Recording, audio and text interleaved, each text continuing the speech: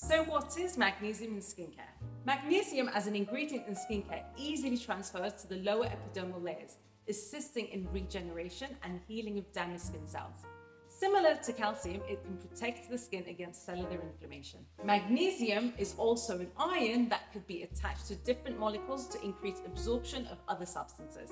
Can you guess which ingredient? An example of this is magnesium ascorbyl phosphate, which is an esterified derivative of ascorbic acid vitamin C. Unlike ascorbic acid, it is very stable in cosmetic formulation as it penetrates into the skin and then it is metabolized to ascorbic acid, giving us benefits like antioxidants, skin brightening, anti-inflammation, and collagen synthesis. You can find it in many products such as this one, this one, and this one.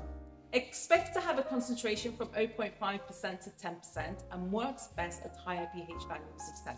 So no, you cannot combine in the same formula with acids, but yes, you can combine it in the same formula with the niacinamide. Follow for more science skincare education.